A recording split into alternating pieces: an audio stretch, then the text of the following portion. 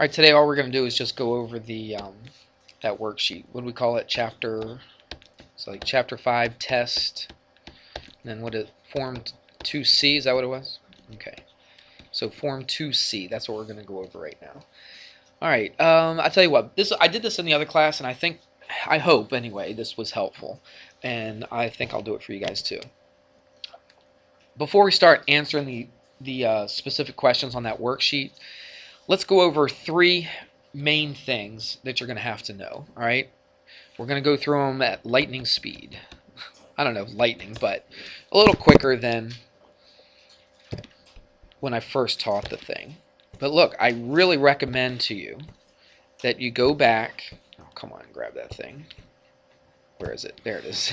I really recommend to you that you go back and watch if, if you still have questions on this, if you still don't understand this, if what I do today doesn't make any sense to you whatsoever, go back and watch the videos when I first talked about it because because I went through it a little bit a little bit more detail, um, a little slower. I'm going to go through a little bit faster today, but this this should be review for you, all right? This should be review because all of you were either here or had a chance to watch this um, on YouTube. All right, so the first thing we're going to do is this. The very first thing we learned when we do, dealt with this triangle. Remember we had three lines, they all intersected at one point. We had three special circumstances. The first one was called the circumcenter. Circumcenter. All right, and how did we find the circumcenter? Well, we had to draw remember how we found the circumcenter? The three, you remember this? Perpendicular bisectors. All right, that's exactly what I'm going to do right now. Okay, I'm going to draw the three perpendicular bisectors. What does it mean to be a bisector? It means it hits it where? At the midpoint, right? So I'm going to draw a midpoint here. I'm going to find the midpoint here. And then I'm going to find the midpoint over here. So what I'm going to do is I'm going to bisect, that's about right there. I'm going to bisect all three of these sides. But it doesn't just say bisector, it says what? Perpendicular bisector. So what I'm going to do is I'm going to draw a line at from this midpoint perpendicular. Right? It could stop at the triangle, it could go through the triangle, it doesn't really make any difference. All right? So that would be a perpendicular bisector right there. If it's, if it's a bisector, it means this side and this side are equal to each other. So that's one perpendicular bisector. How many of these am I going to draw on this triangle? Three of them, because I got three sides, I'm going to draw three perpendicular bisectors. So let's go over here and draw a perpendicular bisector. Well, I go through the midpoint, and I got to draw it how? I got to draw it so this line is what? It's perpendicular. It forms a what? Not just a straight line. They're all straight lines. A what? What did I just draw? A right angle, 90 degree angle, okay? So now I'm going to do it one more time. And I'm going to go from here, and I'm going to go perpendicular. Now, if I did these correctly, then it should go right through the other two. You see it? See they all intersect in one point? If I did it right, they should all intersect at one point. That one point, what do you think it's called? The circumcenter. All right? So that's important right there just to realize that it's called the circumcenter. But there's something special about this point. There's something very special about this point. What's true about it? It's something about the distance. From this point to where? To the... To the what? Not to the sides. No, because look, this distance right here is definitely not the same distance here and here. But it's distant. It's equidistant to the what? The angles, right? To the angles, to the vertices is what we say, but yeah, to the to the angles. All right. So look, that distance from that circumcenter to that angle is the same as it is to there as it is to there. And we went through a lot more detail when I first taught the thing, but we ended up basically saying this was true. So look at the blue lines. So those blue lines right there are all equal to each other if this is the circumcenter. How did we find the circumcenter? We drew the three perpendicular bisectors. That means we found the midpoint of all three sides, drew a line that's perpendicular, right, to that midpoint of all three sides, and they all intersect at one point. And that point is special. Why is that point special? Because it's equidistant. It's the same distance to all three vertices. All right? What possible type of question could they give you for something like this? Well, they could say, I don't know, let's say this blue one is 5 right here. And they ask you to find this one right here. Okay, what would this be from here to here, this blue one? That'd be 5 as well, right? Because it's equidistant. Or they might make it a little tougher and say this is like 3x plus 2 or something, right? And what would you do to solve for x? Well, don't plug it in yet. Set them equal to each other, right? Don't plug this into x, but set these equal to each other, solve for x. Then once you solve for x, then you can plug it in, okay? But you already know what it is anyway. You know it's 5, don't you? It's just a matter of setting them equal to each other and then solving for x. And then you got x. They could ask you all kinds of things. All right? That's circumcenter. We got that? Yes? All right. There was a second one that we learned. Do you remember the name of the second one that we learned? It was called the incenter. Very good. All right, so let's do a little review on that as well. So we call the second one, I'll put a 2 right here, is that right? The incenter. There's basically only three you have to really know. We talked about four of them, but that fourth one wasn't really that big of a deal. It's the first three that I really care about, okay? And how did we find the incenter? What did we have to draw? Do you remember that? Draw the three bisected, what'd you say? Good. Bisected the angle. So we want to draw the three angle bisectors. Now this time we're bisecting the angle. We're not necessarily going to the midpoint. So midpoint really has nothing to do with this. What we're trying to do is split the angle in half. So let's start at this top angle right here. See what I'm trying to do? I'm trying to take this angle, this big angle at the top, I'm, I'm trying to split it in half. Now would I draw it like that? Is that splitting that angle up top in half? No. Would I go like this? No. I'd probably go around where? About right in there? Now where am I looking? I'm looking up here, aren't I? This is where I'm looking. I'm looking to see if this angle is equal to this angle. If it is, then I've drawn an angle bisector. How many of those do I have to draw now? Three of them. And guess what happens to all three of them? What do they do? They all meet. They all intersect each other at the same point, don't they? So down here, watch this. If I bisected this angle, uh, it looks a little off, but just pretend those two are equal to each other. And then if I did what? bisect this angle, it should meet right there at the same point. Everybody see that? And that means that I bisected this angle as well. What's the name of that point? It's called the incenter. Now there's something special about that point, that incenter. So first thing you have to know how to do is is know how we found that incenter. All right? But then we learned something about that incenter. What did we learn? We learned that it's equidistant, not from the angles this time, but from the sides. That's right. So that already looks pretty close to perpendicular. I'll just draw it like this. Now if I say it's equidistant to the sides, the distance from a point to a side has got to be perpendicular. That's why I draw all these perpendicular. Now, it may not look like it because I just kind of eyeballed it a little bit, all right? But if I was really, really careful with this, had a protractor or something, measured out the angles, um, I would see that all three of these blue lines right here would be equal to each other. And that's what's special about the incenter. And again, what could they ask you? They could say that this little blue line is 3, and this right here is 5x plus 1 or something. Okay? And what do we do? We know the blue lines are equal to each other, so we set this equal to this. Right? Or they might say it's like 3x you know, plus 7 or something. You need to set them equal to each other, solve for x, you can plug them back in. There's all kinds of different things you can do. They might say this. They might say, oh, this angle is 30 degrees. And they might ask for this angle right here. What would this angle be right here without doing any work at all? It's 30 degrees as well, right? You with me on that? If they tell you it's the incenter, how do you know that these two angles are equal to each other? Because how do we get the incenter? We get it by bisecting the angle, right? So if this is 30, this has to be 30. Or they could say, like they had a problem, which one was it? Look at number 5. They had something like this. They said, what if this was x plus 15, and this angle right here was 2x minus 10? Forget the 30, that was just from before. Get rid of all that, okay? What if they said, this is a little different from number 5 in the problem, because they tell you on number 5 it's an angle bisector. But what if they did this? What if they said this point right here is the incenter, solve for x? Well, if this is the incenter, how do you find the incenter? By bisecting the angle, right? So that must mean that this angle and this angle have to be equal to each other. So what do we do with those two things? We set them equal to each other, right? So let's just do the math right here. 2x minus 10 equals x plus 15. And let's go ahead and solve for x now. So we subtract x from both sides, add a 10 to both sides. This should be old hat by now, right? You've done a ton of this all, all year long. So that canceled, that canceled. 2x minus 1x is x equals 15 plus 10 is 25.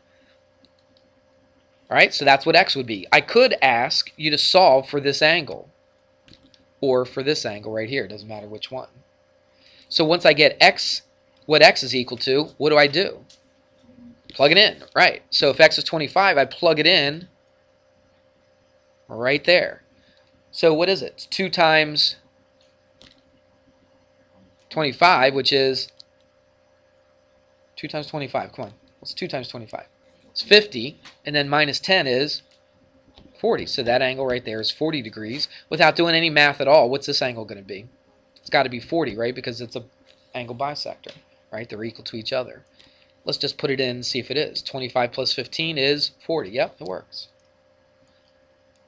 Got it? Okay. So that's incenter. We got circumcenter. This is the last time I'm going to go through these three. All right, and I'm putting it all together in one chunk for you, so that you can um, you can look at it and hopefully you'll remember what all three are. And then the third one. Let's do the third one. Um, let's copy the triangle first. Put it right here. And then we had a third one that we had to learn. Number three. Remember the name of that thing? Centroid, right. It's the centroid. Sounds a little different. It's a centroid. Now, how did we find the centroid? We, what do we draw on our triangle? We draw the three, anybody remember what that was? I'll just tell you.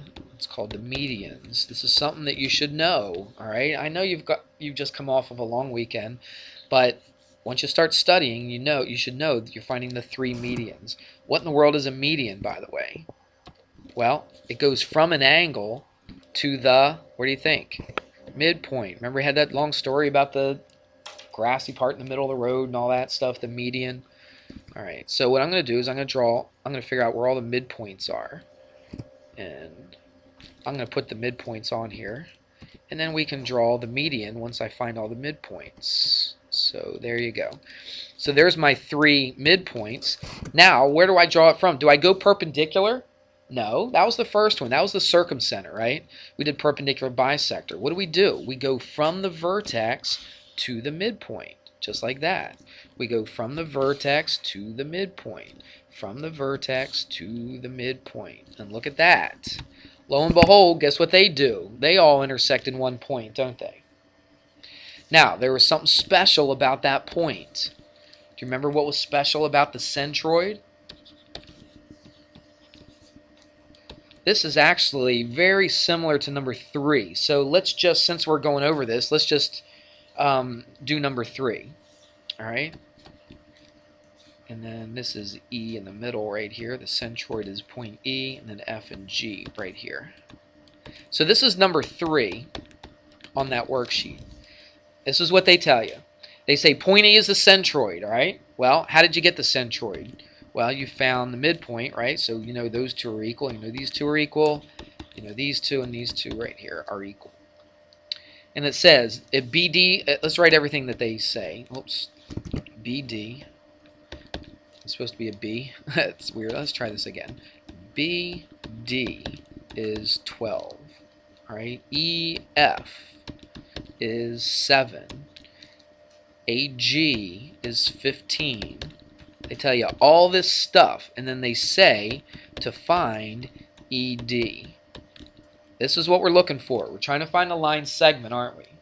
All right, how long is line ED? Well, let's find ED. ED is this one right here, isn't it? All right, that's what we're trying to find. Um, what do they tell us? They tell us BD is 12. So look at this. BD, that whole thing right there is 12. Is that going to help us find ED? Absolutely, yeah, because it's definitely, it gives you the whole thing.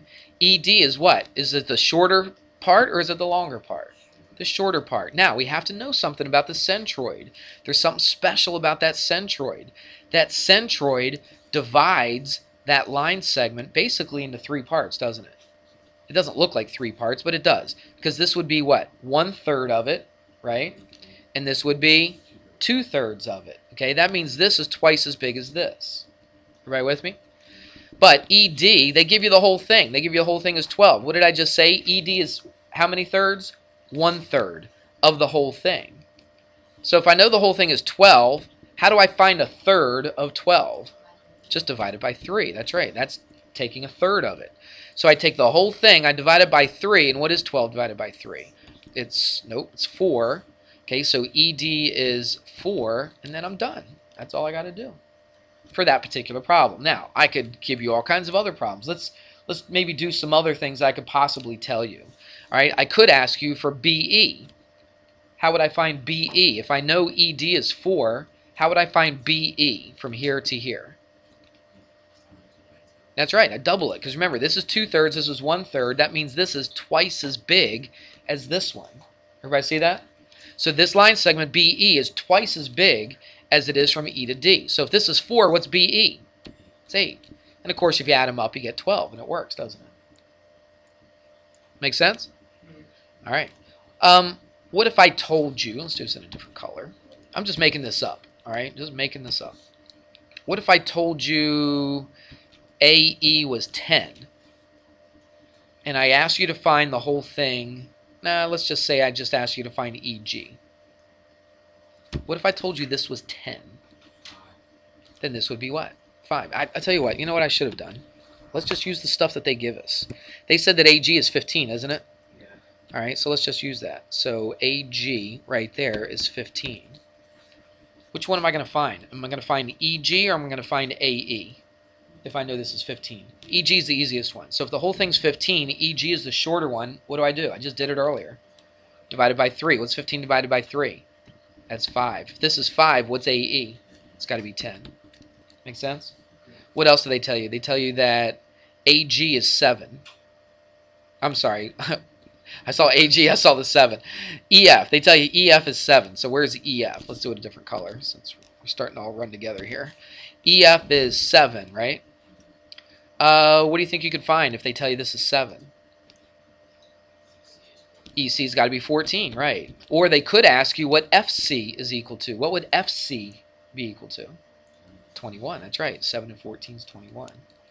Really doesn't get a whole lot harder than that. What they ask you to find is probably the hardest thing. If they tell you the whole thing, right, to find the short part, what do you do? Just divide it by 3 and you got the short part. If you want to find the longer part, you take the shorter one, you double it, and you got the longer one. It's not hard, is it? It's really easy. The math is really simple, really simple. But you got to know the relationships. You got to know, you know, which one is bigger than the other, which one is twice as big, which one is a third, and all that. So there it is. We hit a couple problems on that worksheet. We'll hit some more specific problems tomorrow, okay? But I think this is good for you to see. It's really good for you to see all three of those all in one chunk, okay? And that's basically what I did. There's the third one, centroid. There's the second one, incenter. There's the first one, circumcenter. Go through these. You've got to you've got to study this stuff on your own. You can't just rely on just sitting here and listening to me just blabber on and on, okay? That helps a little bit. It helps you kind of get an idea of what you're supposed to be doing, but to really get the hang of this stuff, you're going to have to study this yourself, and you're going to have to do these problems yourself.